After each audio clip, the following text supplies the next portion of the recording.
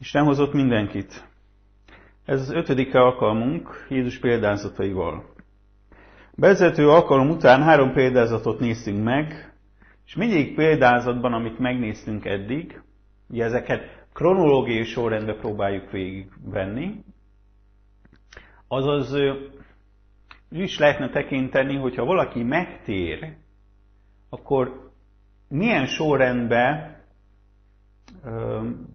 vannak neki esetleg kérdései. Hogy milyen kérdései merülnek fel Isten országával kapcsolatban. Milyen kérdései merülnek fel azzal is, hogy hova kerültem én most? Eddig tudtam magamról, már ha magyar az illető, hogy, hogy én magyar vagyok. Na de most most már, most már nem is csak magyar vagyok, hanem keresztény vagyok, hanem azt mondják nekem, hogy Isten országának az állampolgára lettem, hogy mennyi polgárjogom van, most akkor ez mit jelent? Mert el tudom olvasni, tudom, mit jelent, mit jelent magyarnak lenni, ebben éltem x évet eddig, szavaztam, ha választás volt, népszavazás volt, ha különböző dolgok történtek, részt vettem helyi választásokban is, tudom, ismerem a törvényeket, betartom, tudom, hogy, hogy mit kell csinálnom. Ez egy ismerős közeg. És ha elmen, elmennék lakni Németországba, elmennék lakni Angliába, Amerikába, stb., ott is hamar belejönne az ember a törvényekbe, mert hasonlóak. Na de mik a törvényei Isten országának? Egy olyan országnak, amit most nem látunk, talán tapasztalunk, hogyha együtt vagyunk, tapasztalunk, hogyha Istennel vagyunk, tapasztalunk neki bizonyos dolgait Isten országának. Annak az ország, aminek állampolgári lettünk. És Jézus ezért elkezd tanítani Isten országáról. Isten országának a titkairól. És ezt, amint láttuk, példázatokban tanítja, és az eddigi példázatok, ugye hármat néztünk meg eddig, kettő a háromból olyan volt, ami után a tanítványok oda mentek, és mondták, hát mester, aj, nem tudjuk, nem értjük, nem értjük, amiről beszélsz. Meg is kérdezték, hogy miért beszélsz nekik példázatokban? Hát mi se értjük, és akkor ők,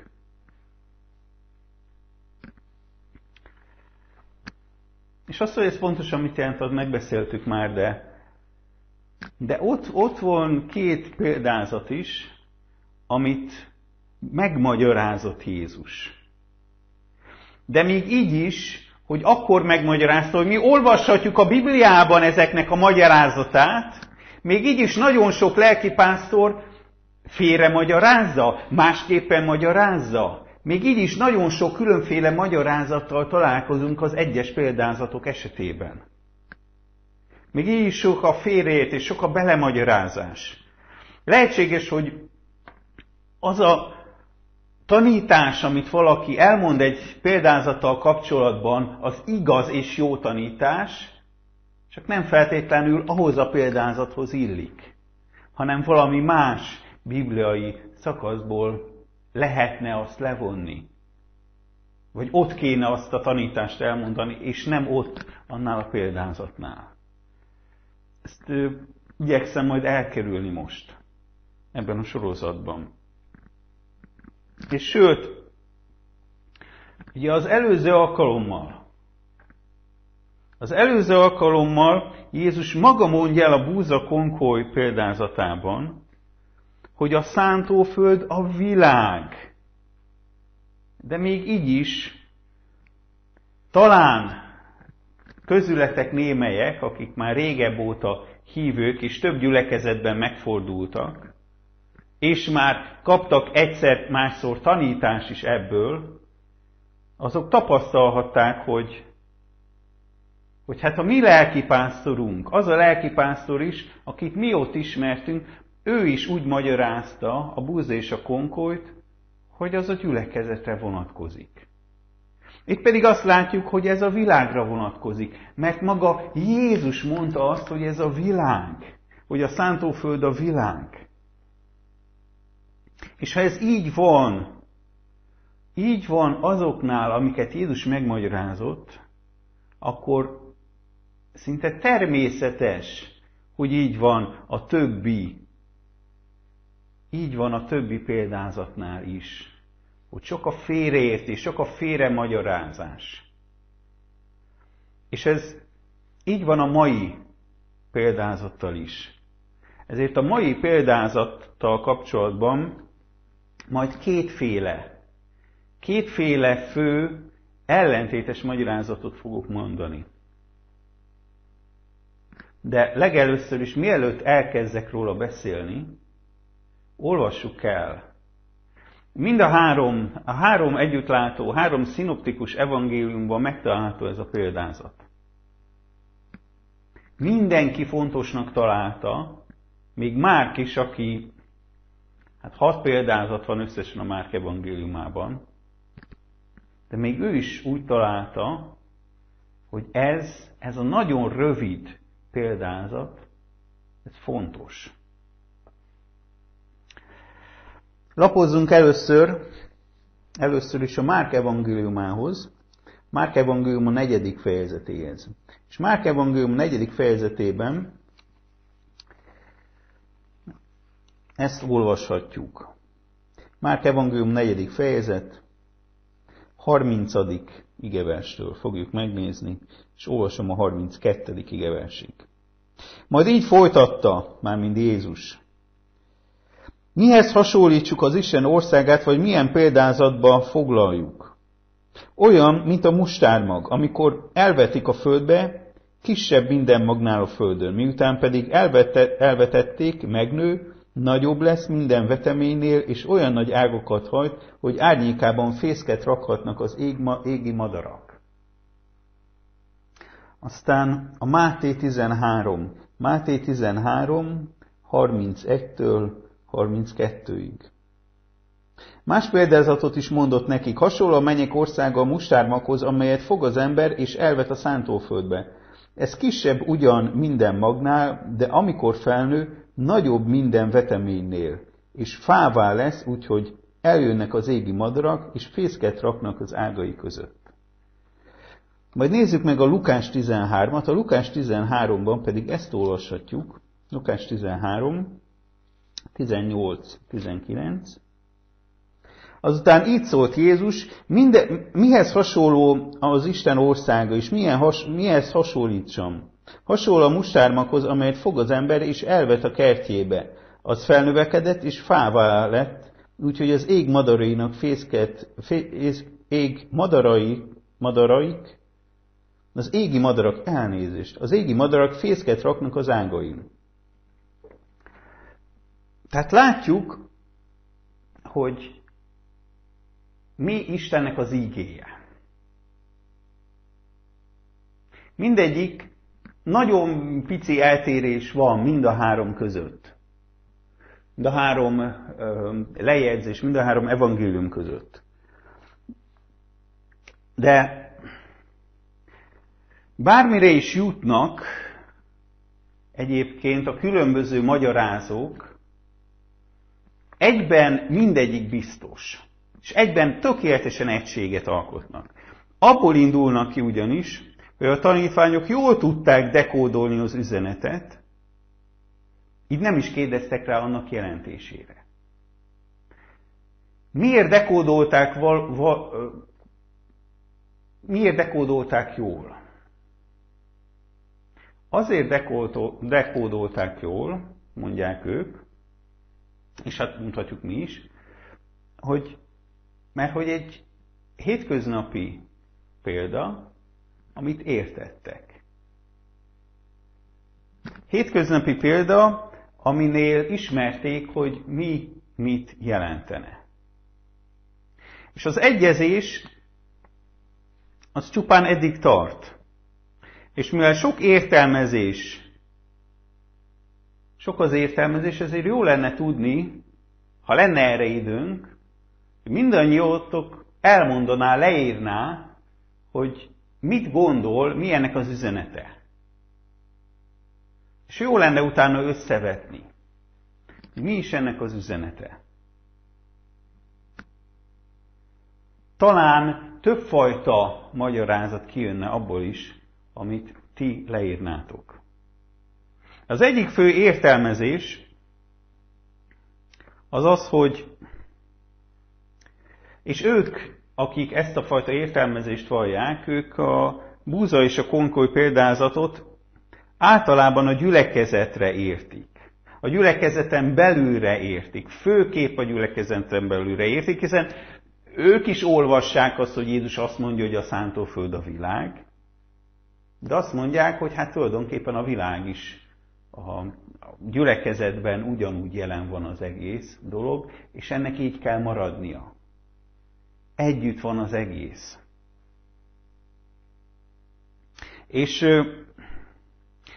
ők, ha Mátéba valaki elolvassa, akkor tulajdonképpen a mustármok példázat, illetve a kovász, az tulajdonképpen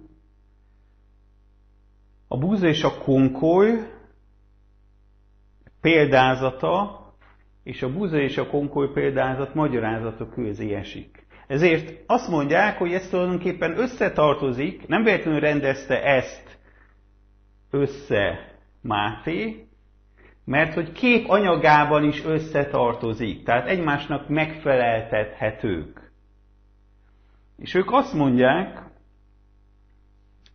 hogy, és mind a két példázat tulajdonképpen a mustármag és a kovász is negatívan, negatívan kell értenünk.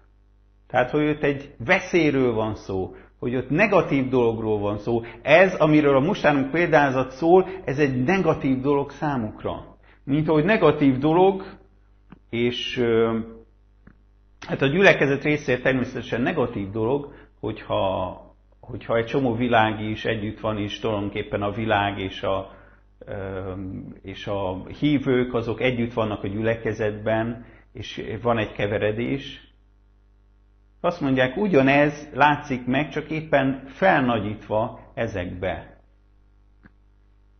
Mustármag és a kovász példázatában.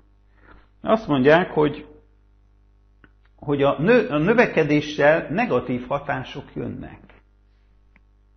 Az, ahogy Isten országa növekszik, robbanásszerűen növekszik, gondolhatunk arra, hogy 120 voltak Jeruzsálemben, ugye pünkösd előtt, Pünköskor egyből 5000 megtértek. Utána ennyien, utána annyian, utána amannyian megtértek. Tehát rengeteg ember robbanásszerűen növekedett. És az első században látjuk is, látjuk is ennek, hát főleg pálleveleiben is feltűnik már, nagyon sok esetben, a kiskorúság, nagyon sok esetben feltűnik a felhívult kereszténység, de, de igazán nagyon jól látszik, hogy egy-egy, egyes gyülekezetek hogyan álltak hozzá a jelenések könyvében, gyülekezetben, gyülekezetekben. Nagyon jól látszik a hét kisánzső gyülekezet példájában, ahol volt olyan, aki, aki nagyon jól működött, mert éppen eszméletlenül üldözték, és mártíromság alatt állt az egész gyülekezet szinte. És szenvedett. És látjuk ezt is, hogy ez az üldözés és jólét nagyon sokszor váltogatja egymást az egyház történelemben. Aztán láttuk a negyedik században, már ha megnézik a történelmet, illetve egyház történelmet, hogy államvallásá lett a kereszténység. És akkor elkezdődtek a szerzetesi mozgalmak, akiknek elegük volt abból, hogy itt egy üres dolog kezd kialakulni. Elegük lett ebből az egészből, ami képmutató, ami úgy osztja az állami munkahelyeket, hogy valaki kereszténye vagy nem. És csak az vállalhatott állami tis, csak az lehetett állami tisztségviselő, aki keresztény volt. Előtte meg ugye csak az lehetett szinte, aki nem volt keresztény. És a római birodalom, a negyedik században ugye a római birodalomban a keresztények létszáma az 5% volt, És Nagy Konstantin úr uralkodása közben 5%-ról felment 50%-ra. Mert hogy, mert hogy a kereszténység az divattá vált. Vagy a kereszténység az éppen akkor megérte. Ezért persze, hogy keresztény lesz valaki, hogyha megéri kereszténynek lenni, és ezt látjuk Magyarországi rendszerváltás, is, rendszerváltás után, hogy megérte kereszténynek lenni hirtelen. És most is megéri kereszténynek lenni esetlegesen ebben a kurzusban is. De bejöttek a tévtanok az egyház életébe. Valakik Markionnal kezdik, ugye a második század közepe, aki megrövidítette a Bibliát, és rengeteg hit csatát vívott, szócsatát vívott, majd jöttek különböző mozgalmak, Szent Háromság, igaz, nem igaz, miért nem igaz, miért igaz. És nagyjából minden, minden, ami negatív, azt nagyon sokan úgy látják, hogy az minden torkolik a római katolikus egyházba. Torkolik benne a Biblia ellenesség, ugye, aminek két formája van, hogy valaki vagy hozzátesz, vagy elvesz belőle. Ugye Márkion elvett belőle, katolikusok meg hozzáadtak, már a római katolikusok hozzáadtak a Bibliához. Ott, ott vannak a hagyományok. Beleveszünk még pár könyvet az Ószövetségbe, hát az igaz, hogy a zsidók nem fogadják el Szentiratnak, de hát mi, mi zsidóbbak vagyunk a zsidóknál, mi elfogadjuk őket. Látjuk a római katolikus egyházban a felhigulást is. Bármilyen kiskorú hívőre azt mondják, bármilyen, hát és itt a hívőt már elnézést, a hívőt nem is mondám, tehát bármilyen hitű emberre, aki azt mondja, hogy katolikus, egyébként meg római katolikus, egyébként a pápa a legnagyobb, a pápa ténylegesen e, itt a helytartó, és e, fölesküszik az egyházra, azt mondják neki, hogy az egyház hite számít. Ha te ennek az egyháznak a tagja vagy, akkor te majd Hát lehet, hogy csak egy kis pörkölődés után, de akkor is oda fogsz kerülni. Nem kell igazán hinnie valakinek. Nem kell valakinek igazán kereszténynek lennie. Nem kell valakinek Krisztus követnie, mint, mint római katolikus, hogy, hogy üdvössége legyen. Elég az egyházának a hite. Az ő hite nem számít. Emiatt nagyon-nagyon fel van higulva például a római katolikus egyház. És lehetne még sorolni a római katolikus egyháznak a bűneit, de nem azért vagyunk itt, hogy azokat soroljuk. De tulajdonképpen a római katolikus egyházban már csak nyomokban található meg az, nagyjából úgy, mint a csokikra, hogy rászokott írva, nyomokban található meg benne az, ami az első században lévő kereszténység volt. Se egyházszervezésbe, se hitvallásba, semmiben nem követik az első századi kereszténységet. Egy saját maguknak alkotott vallás földonképpen. És erre a jobb, az úgymond jobbak, erre a magyarázatra hogy itt, itt egy nagyon veszélyes dolog, és egy, egy elkorcsosulása van, jelenik meg tulajdonképpen a kereszténységnek ezzel, és erre hívja föl itt a figyelmet. Erre, erre a jobbak, akik e, próbálnak valamit találni rá, erre találnak is két igazoló ige szakaszt az Ószövetségből. Az egyik, hagyjunk oda az Ezékiel könyvéhez, az Jeremiás után van, Ezékiel könyve, 31. fejezet. Ezékiel könyvének 31. fejezetében a következőt olvassuk. 31. fejezet. Itt ugye intő példa Egyiptom számára. Második, harmadik igevers, emberfia, mondd ezt a fáraóról, Egyiptom királyról és a népe tömegéről. Kihez hasonlítasz nagyságodban? Nézd, Asszíria olyan volt, mint egy libanoni cédus, szépágú, ágaslombú és magas növéri és sűrű felhőgig ért a teteje. Ugye ez kicsit ismerős. Hatodik vers, ágain fészket rakott minden égi madár, hajtásai alatt fiadzott a mező minden vadja, és árnyékában lakott mindenféle nép. Majd a 9-es, 11-es vers, szépé tettem őt dúslombű ágaival, irigykedett is rá éden minden fája az Isten kertjében, azért ezt mondja az én uram az úr, mivel magasan nőtt és teteje fölnyúlt a, fel, a sűrű felhők közé, felfuvalkodott, mert magasan nőtt. És lapozzunk még gyorsan oda a Dániel könyvéhez, Dániel könyve negyedik fejezete. A fejezet cím is azt mondja, hogy Nabukodnetszár álma a kivágott fáról. 7-es, 9-es vers. A látomás, amelyet fekvőhelyemen láttam, ez volt, ugye mondja az uralkodó. Láttam egy fát a föld közepén, amely igen magas volt, a fa nőtt és erősödött. Olyan magas lett, hogy az égig ért, és még a föld széléről is látható volt. Szép lombja volt, és sok gyümölcse táplálékot nyújtott mindenkinek, alatt a mezei vadak tanyászak, ágain égi madarak fészkeltek, róla táplálkozott minden élőlény. Majd 17-19. Az a fa, amelyet láttál, ugye itt már a magyarázat Dánieltől, tehát a fa, amelyet láttál, és amely olyan nagy és hatalmasan nőtt, hogy az égig ért és látható volt az egész földön, szék lombja és sok gyümölcse volt, táplálékot nyújtott mindenkinek, aki alatta tanyázott, mezei vadak, ágain fészkeltek az égi madarak, az te magad vagy, ó király, te lettél nagyjá hatalmassá, hatalmad megnőtt, felér az égig, és uralmad elér a föld széléig. És utána ugye látott egy, a látomásába egy angyalt, ítéletet hirdetett, és a fát, ahogy a fejezetcímben is volt, kivágták.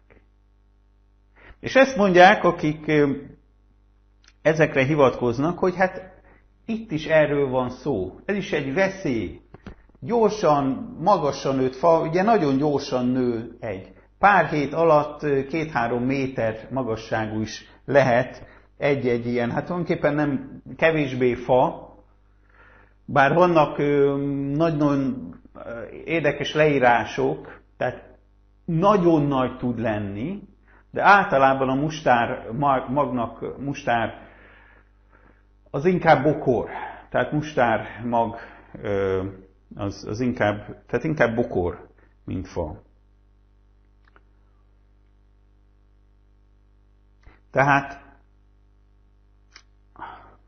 azaz olyan felekezetek alakulnak ki a gyors növekedés kapcsán, mint a római katolikus, amelyik, amelyik kiveszik Isten kezéből a pálcát, és ők akarnak uralkodni.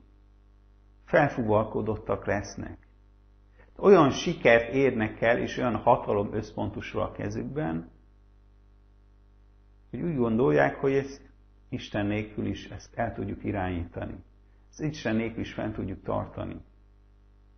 Olyan ügyesek vagyunk, hiszen létrehoztuk ezt az egészet, hiszen mi gyűrcöltünk, mi mentünk el, mi csináltunk mindent, és az emberek csatlakoztak a mi szavunkra. Felfúvalkodottak lettek. Számukra, akik ezt a fajta magyarázatot követik, ez a mustárma példázata, ez leírása a növekedés veszélyének. De ugyanakkor annak is, hogy elkerülhetetlen. Például van egy római katolikus egyházunk is. Elkerülhetetlen. Viszont azt mondják, hogy a, a bűnök el fogja őket érni. Ahol itt, ahogy itt is láttuk, Ezekben a, a felolvasott ige szakaszokban a Dániel könyvéből és az Ezékielből őket is elérte a bűnük. És majd ezt a gyorsan felnövekvő, a fekete madarakkal, égi madarakkal egyesülő egyházak, ugye, mert a, a, a levegőben az, ég, az égi madarak számukra negatív démon, démonikus tényezők. Ugye tudjuk, hogy a, ki a levegő fejedelme. Ugye sátánról beszél, mint levegő fejedelméről Krisztus. És azt mondja, hogy hát ezek a levegő fejedelmének az ügynökei. Hiszen az előző példázat, előző egyik példázatban ott a madarak, a magvető példázatban mit csináltak? Kikkel azonosította Jézus a madarakat? Madarak, madarakat a gonoszszal azonosította. És azt mondja, jó, hogy eljön a gonosz, és el, elrabolja magukat.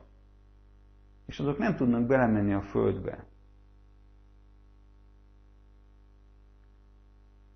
De azt is mondják, hogy aki igazán igaz, azok külön válnak az ilyen egyházaktól.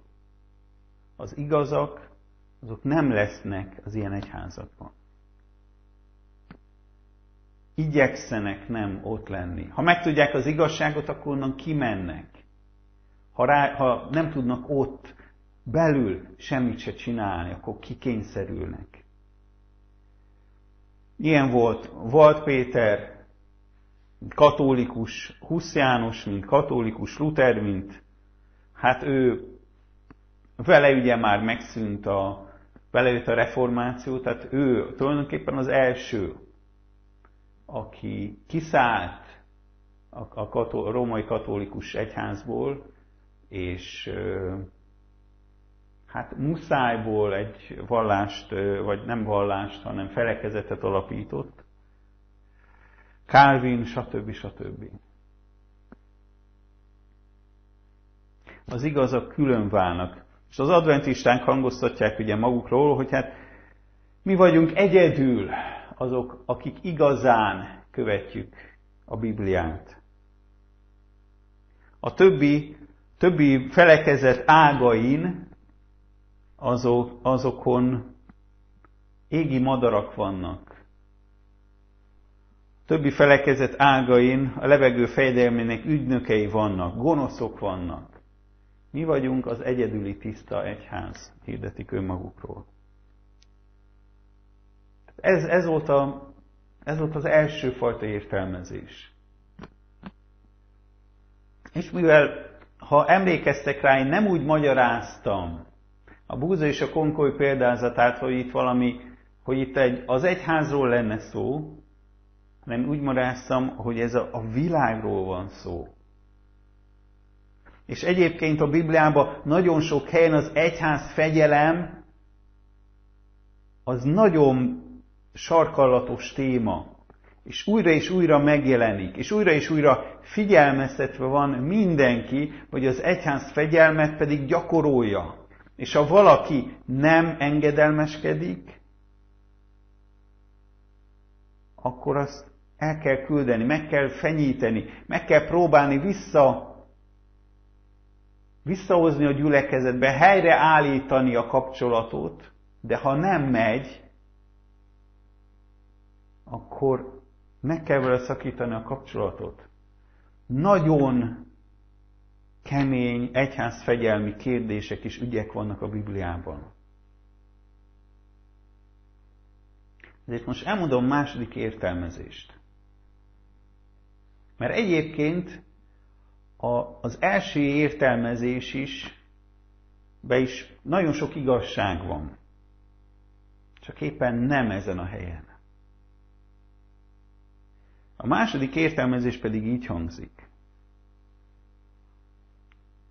hogy Jézus eddig elmondta, hogy, hogy vetni kell, méghozzá szüntelenül a magot.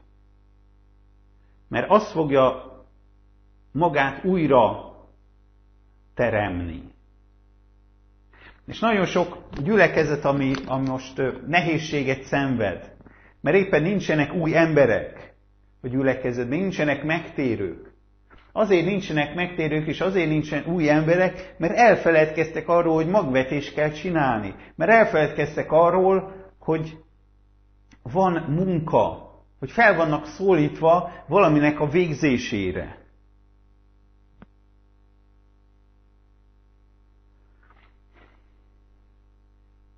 És Jézus eddig elmondta azt is, hogy az Úr garancia hogy teljes lesz a végső siker. Ugye a magától növekvő vetés. Majd a következő, az előző példázatban, a már többször említett búz és a konkolyba pedig elmondta, hogy, hogy nem fog mindenki megtérni, de mindenhova el fog jutni az evangélium. Az egész földre. A szántóföld az egész föld. A szántóföld nem csak Palesztina területe. És ezért gondoljunk bele, hogy ott volt Jézus a 12-vel is, voltak egyéb követők is. És arról beszél, hogy az evangélium, amit nekik kellett hirdetni, és ennek a tétjét igazán majd Krisztus halál után fogják megtapasztalni, azt el kell jutatni Kínába, Indiába, Rómába, Hispániába, és nem tudom, hogy akkoriban mi volt az a legtávolabbi hely, amiről ők tudtak, esetleg Afrikában. Fogalmam nincs, hogy mi az, amit ők ismertek még. De hogy mindenhova. Ezt el kell jutatni mindenhova. Erről szólt a példázat, hogy az egész világra el fog terjedni. És ők nem tudták, hogy hány száz, tíz, ezer év áll rendelkezésükre. Mert inkább ők pár évbe gondolkodtak, sőt,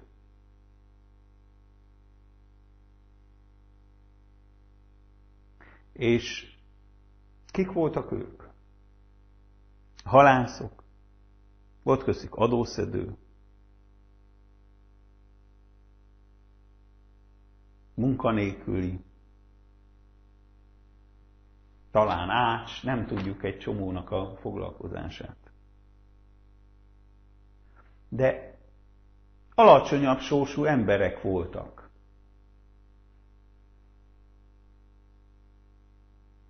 Nem állami tisztségviselők voltak, nem királyi háznak a gyermekei voltak. Nem olyanok voltak, akik mögött nagy nagy iskolák, nagy intézmények álltak. Bár tudjuk, hogy, hogy ugye Martin Schulz, aki, akit most váltanak éppen, akinek 8, át, 8 általános a végzettség, legmagasabb iskolai végzettsége, és mégiscsak 2012-től mostanáig 17-ig az Európai Parlament elnöke volt. Az Európai Parlament elnöke volt 8 általánossal 5 évig valaki. Tehetséges volt, nem, nem ettől függ. Persze. De, de nagy különbség, hogy a tanítványok mögött nem állt egy egész pár család, mint ami például Schulz mögött állt. Ezért egymásra nézhettek, és azt mondják, hogy most miről beszél itt Jézus? Miről beszél itt ez az ember? És amit mondtam, főleg a halála után lesz ez létkérdés számukra, hogy, hogy, hogy hogyan fog ez megvalósulni, hogyan lesz ez? Mi az az erő és hatalom, ami, ami miatt ez, ez be fog következni? Hiszen a szántóföld kovásza példázat minden eddigi várakozásukat és víziójukat felülmúlta. Ugye nem Palesztina területéről volt szó, hanem az egész világ érintve lesz Isten országával. Mindenütt jelen lesz Isten országa. És túl nagynak érezték ezt a képet.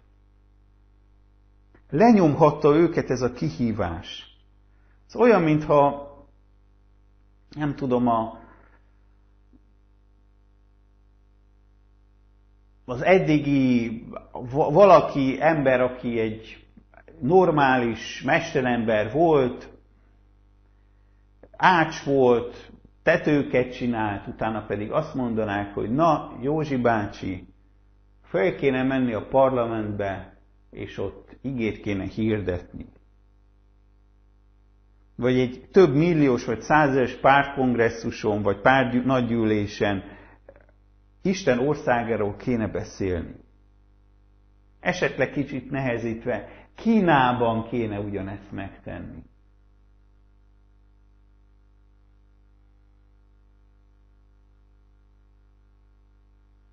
Mindenkit lenyomna a feladat.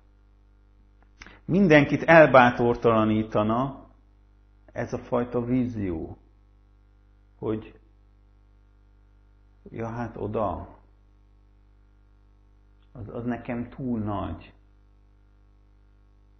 Ha még itt Jeruzsálemben lenne valami, ha még itt Galilában történne valami, ha még itt errefelé kéne dolgozni, akkor azt még megcsinálom, de a, a, a világ végéig.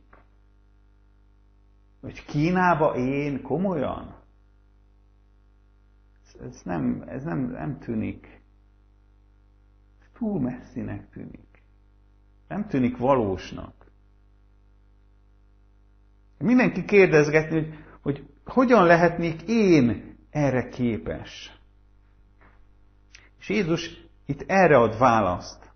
A földműves, amikor elveti a magot, akkor a magban ő már látja a fát is, ami abból lesz.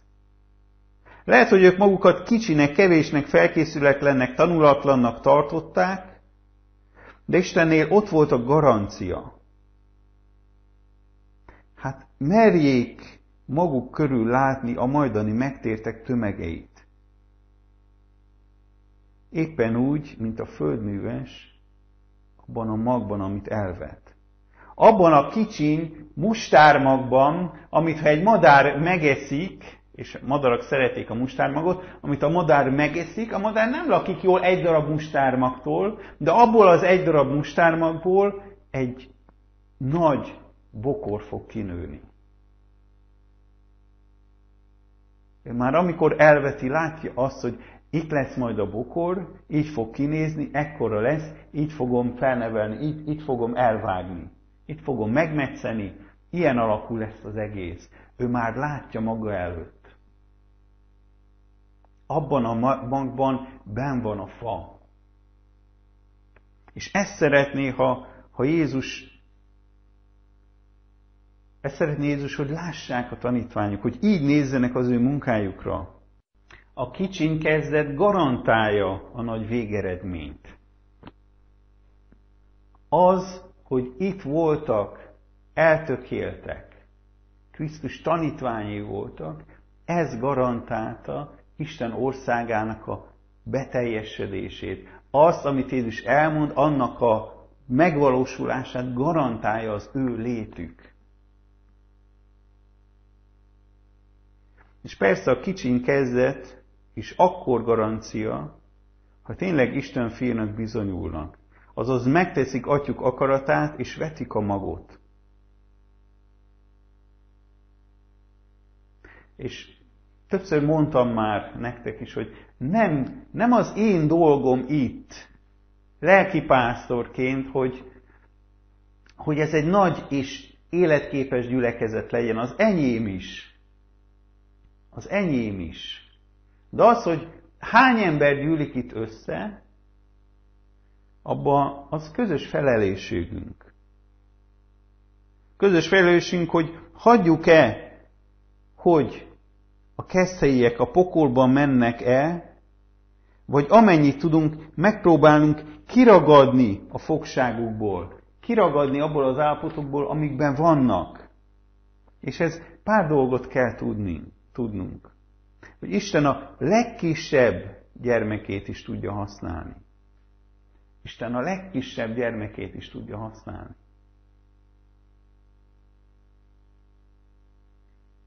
És akit, akit Isten nem tud használni, az nem a gyermeke. Akit Isten nem tud használni, az nem az ő gyermeke. De a legkisebb gyerekét is tudja használni.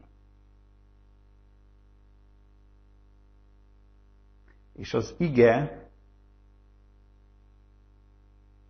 amit egy bűnös fejébe, szívébe juttatunk, az bár kevésnek tűnhet, kevésnek tűnhet a sok évnyi vallás ellenes és világi szenny, szenny között, amit az az ember az élete során fölhalmozott a szívébe, az elméjébe.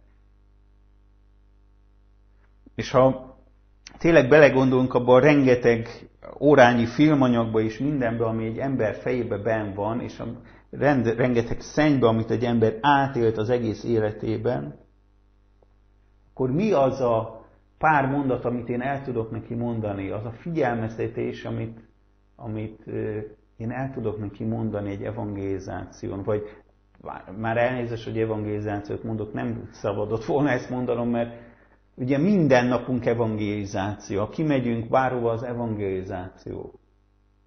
Tehát ne egy, ne egy különleges alkalommal gondoljatok nyáron, amikor eljön valóna egy csoport, és evangelizációt tartunk. Mert minden nap evangelizáció, amikor kimész, elmész a boltba. Az, hogy milyen jól csinálod azt az evangelizációt, az nem mindegy.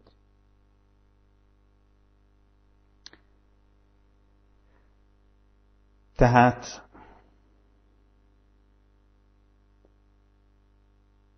Zsidókhoz itt levél 4.12 azt mondja, mert Isten igéje élő és ható, élesebb minden kétélű kardnál, és áthatul az elme és a lélek, az üzületek és a velők szétválásáig, és megítéli a szív gondolatait és szándékait.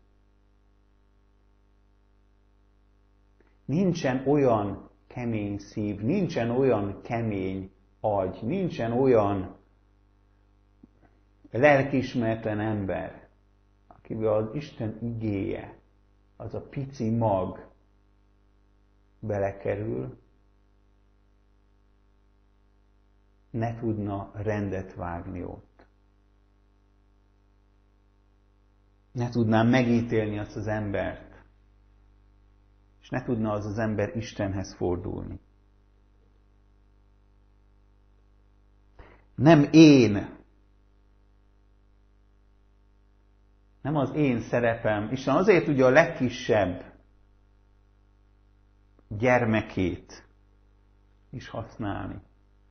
Mert hogy nem, mert hogy neki csak az a szerepe, ami a, a haladó emberének is ugyanaz a szerepe, hogy azt az igét elmondja.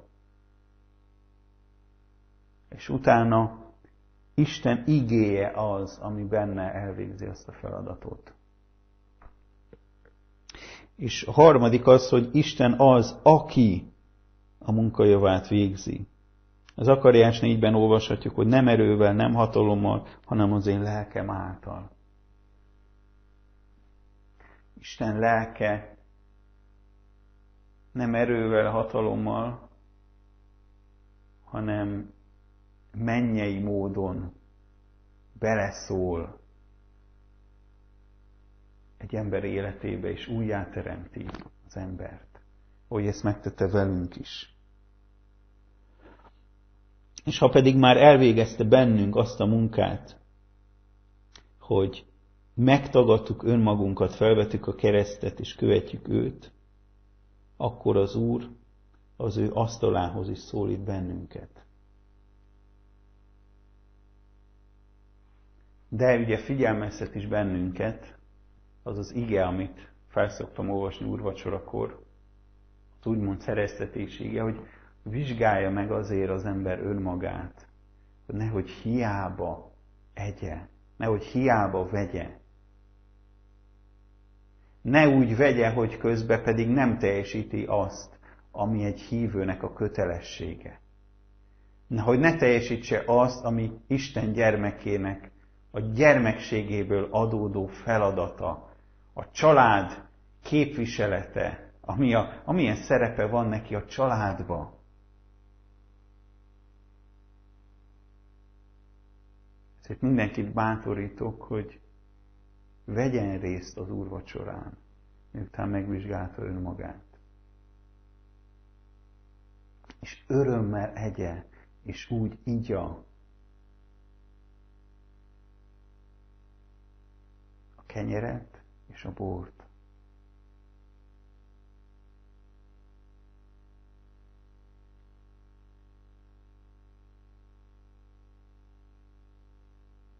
Amen.